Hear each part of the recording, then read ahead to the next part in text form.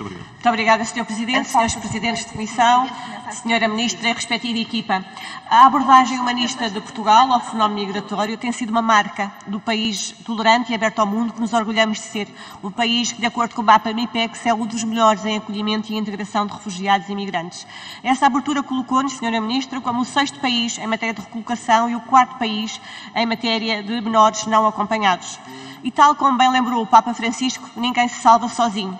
Só é possível salvar-nos juntos. As grandes tragédias globais têm a virtude de despertar a consciência de sermos uma comunidade mundial que viaja no mesmo barco.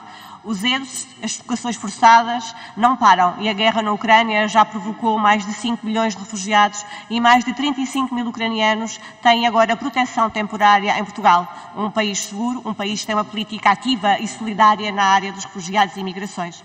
A propósito do Papa Francisco, permita-me lembrar-lhe o seu papel na defesa dos direitos humanos e dos jovens em particular. As Jornadas Mundiais da Juventude 2003 vão ocorrer em Portugal e aqui também é a cultura do encontro que se visa promover e não a cultura do confronto, que temos sempre que rejeitar e repudiar.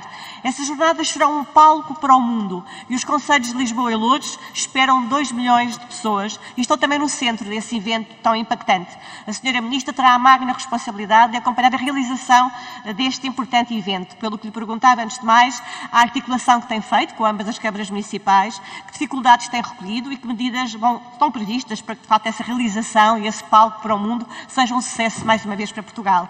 Por último, permite saudar o facto de o governo português, do Partido Socialista, ter liderado um processo tão importante para a frente ribeirinha do Conselho de Lourdes, libertando os contentores e essa barreira física que, no fundo, punia 80 mil pessoas. 80 mil pessoas que no Conselho de Lourdes vão passar agora a ter uma nova frente urbana, um novo Parque Verde e uma lógica ambiental e de sustentabilidade muito importante para o Conselho de Lourdes, um dos maiores conselhos do país. Muito obrigada.